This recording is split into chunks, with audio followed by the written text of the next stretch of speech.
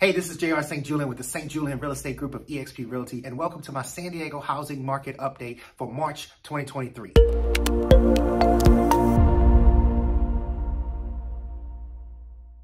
There's a ton of stuff happening in the market right now. We got banks failing. We got the Fed raising interest rates, but maybe not as much as everybody thought they would, but still more than what most people wanted them to do. We have mortgage interest rates going up, mortgage interest rates coming down, and we got demand increasing and supply decreasing in the marketplace. So let's get into all those things and let's talk about how the macro economy is affecting the micro economy and the San Diego housing market.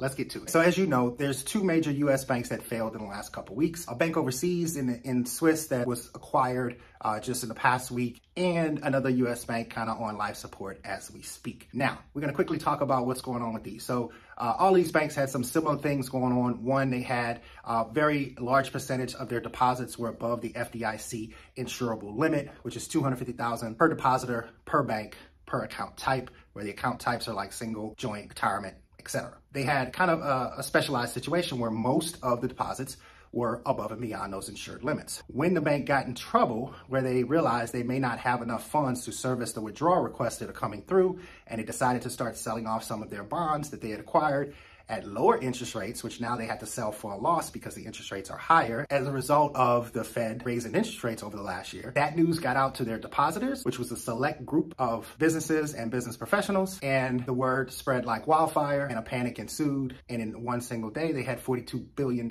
in requests to withdraw funds. So of course that was unsustainable and as a result, that bank failed. Similar thing happened to Signature Bank a few days later. This one catered to real estate and law firms again had a significant large portion of its deposits above and beyond the FDIC limits. And again, as a result of the Signature Valley Bank failure, these folks recognize that, oh crap, we have money in this bank and it's well above the, the insured limit. So let's start withdrawing our money out. And they could not keep up with the withdrawals and they failed. And now we have the First Republic Bank, which is on life support. Its stock pretty much got pummeled in the last two weeks and it's gone from $120 per share to around $15 per share.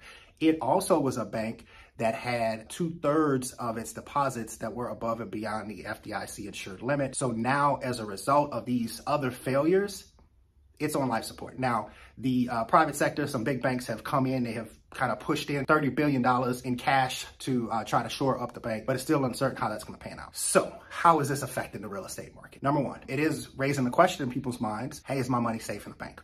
Well, most people don't have over $250,000 in the bank, but if you're worried about it, I would recommend you go to the FDIC website and check out their EDIE which is their, I forget what it stands for, but it's basically their insurance calculator to see how much of your funds are insured or uninsured. And that'll kind of tell you where you stand, and then you can make a decision whether you want to move some of that money to another bank. That being said, the biggest effect that this is having on the housing market is that in response to this, we saw the expectation for what the Fed would do. I'm putting this video together on March 22nd, so we just had the Fed meet and release their results for their March meeting. And coming into this meeting, prior to all this bank stuff, most people were expecting the Fed to raise the interest rates by a half of a percent. Well, after banks started failing and it kind of being led back to the fact that the Fed has raised their Fed's funds rate so quickly and so rapidly over the last year that now it's starting to have an effect and maybe the Fed may be more cautious about future rate hikes going forward. And that actually manifested itself today. Uh, some people thought that they would only do a quarter percent, which they did, and other people thought they wouldn't do any rate hike. They would kind of take a pause to kind of see how things worked out. They still decided to do the quarter percent interest rate hike, but they did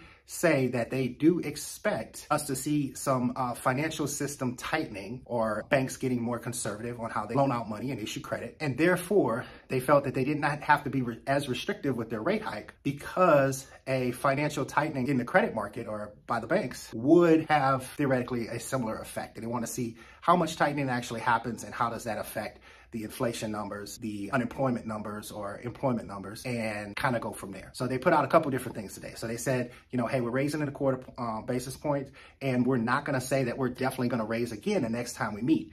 Basically, we're going to wait to see what the data says, and then we will respond accordingly. So that's been a change of tune. Now, as a result of that change of tune and how the market responded and the expectations that changed for how the Fed would behave after the bank failures, we saw mortgage interest rates come down about half a percent. So how is that affecting the housing market? Well, the bank failures reduced the interest rate hike expectations in the marketplace. Mortgage rates came down about half a percent, and that is happening in a time of, once again, where we still have slightly higher demand, at least in comparison to what we saw at the end of last year. Definitely lower inventory. We're sitting at one month of inventory right now, resulting in more competition if you're trying to buy a home, more bidders if you're trying to sell a home. And we're seeing that manifest itself. Now, one thing that has been happening in the last couple months, we've seen interest rates go up, we've seen them come down, we've seen them go up. And it seems like as we kind of get up toward that 7% mark, that demand falls off a bit as it comes back down to the 6% point the demand goes back up again. So we may see a little bit of a pendulum back and forth in demand, but the biggest problem that we have right now is supply. And the supply challenge that we have is also a function of interest rates.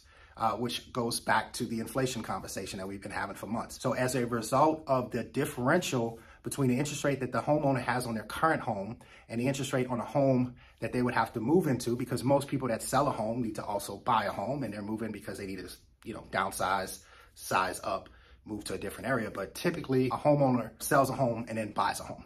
So that's most of the people that put their home on the market are selling a home and buying a home. Well, as a result, in the differential between the rate that they have on their current home and the associated payment with that rate and the rate that they would have to get on the next home and the much higher payment that would be associated with that rate, most sellers that would consider us selling their place are deciding to stay put. And really, until the rates stabilize, we get to a number that's not kind of doing like this. I would say stabilize maybe less than 6%. I would say we would continue to see inventory problems. And honestly, we had inventory problems well before we got into any of these issues. So that may be a problem forever going forward in the San Diego market. Who knows? But definitely it's a problem right now. So outside of that, the primary thing that will determine how this affects the real estate market is how the Fed will now change its game plan to fight inflation with the understanding and recognition that there have been some bank failures as a result of them hiking rates so aggressively over the past year. All of the banks contributed a portion of the reason why they failed to that fact, and therefore that will make the Fed more cautious. So that was the expectation. And as a result, we saw mortgage interest rates drop about a half a point. And today, the Fed concluded its monthly meeting and instead of raising a half a point or 50 basis points, they increased the Fed funds rate by a quarter point or 25 basis points. So the Fed did get more conservative in their response. And then the Fed chairman's debriefing on the backside of the meeting said essentially that they no longer have an expectation that they will raise rates again. They basically will wait and see how the stats and the data responds to the environment and what they've done so far, and then execute the appropriate policy based on the data. So that has changed a little bit of what they're putting out on what they're going to do in response to inflation because they expect these bank failures to cause some credit tightening by banks throughout the system. Basically, they're expecting banks to get more conservative about what type of loans they issue and who they issue them to. And as a result, that will have some of the uh, desired outcomes that a higher rate would have because now they're reducing the credit and liquidity of the financial system, which should cause the economy to slow down a little bit. So that's what's being expected. Now, that being said, the Fed also did say that they do believe the banking system is safe. They did put a new measure in place. One thing they did is they, they insured all of the deposits for the two banks that failed. And then also they put in an emergency loan system to allow banks that are in need of funds, instead of having to sell securities or debt instruments that they purchase as investments at a loss before they mature, they can just go ahead and borrow the funds that they need to service their withdrawal requests. And that has actually been utilized where they have already uh, given out over $300 billion in the last couple weeks via that system, and that seems to have worked. Now, how has that affected the housing market again? Well, to be honest, it hasn't outside of that small dip in the market rates. Like I said, we saw the uh, interest rates come down a half a percent. What's going to happen as a result of this? Honestly, unless we start to see additional bank failures and it actually starts to have a more substantial impact into the system. I don't think it's going to have a significant impact other than it may result in some credit market tightening and slowing of the economy, which hopefully will help with the inflation situation and prevent the Fed from having to raise interest rates in the future. So overall, it could be good for the housing market. We're going to have to wait and see on that. Now, things that are happening in the market right now, appreciation is 100% back in this market. In last month's report, I let you know that we're starting to see appreciation come back where we had appreciation in attached home space, but not in the detached home space. Well, we got appreciation in both spaces now. And we've seen seen a, uh, from January to February, we're up 1.7% in the median home value. Competition is up, and that is the reason why. As I bet you last time, we're starting to see more multiple offer situations that's definitely manifested itself. Months of inventory dropped from 1.1 month in January to one month in February. And the active inventory for sale has decreased by 11.3%, while the closed listings have increased month to month by 13.5%. There's definitely more activity right now. Demand is increasing. And I think that's a combination of people getting more adjusted to the newer rates. The extreme low inventory that we're having right now is a function of that rate differential between what a theoretic seller would have to sell off, you know, 3% rate or 2.5% rate, etc. And then on the house that they buy, because most sellers, you know, sell a house and they buy a house, would be in a 6.5 to 7% range. That's a fairly uh, significant differential. It goes from a much lower monthly payment to a much higher monthly payment. So that is preventing some sellers that would be sellers right now from actually selling and just kind of sitting back and waiting out to see, hey, I can't do that right now, can't afford it.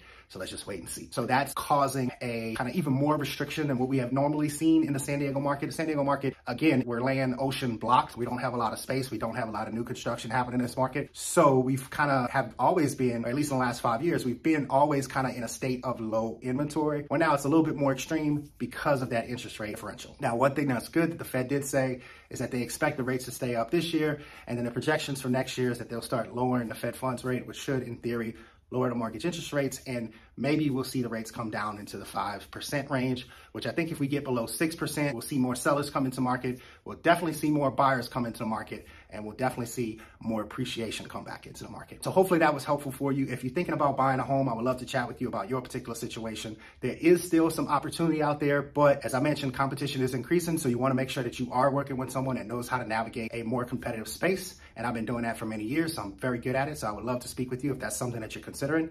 And if you're thinking about selling a home, like I mentioned, if you have a good reason to sell, you have a place to go, it's a good time to sell because there is more competition out there and there's fewer homes being sold. So we're seeing homes get more money now than what they were getting last year. So that's something you're thinking about. I would love to chat with you about your particular situation and how we can maximize the net on the sale of your home. Regardless, I love to talk real estate. I would love to chat with you more. Please don't hesitate to reach out if you have any questions so I can do anything to be of service. Take care.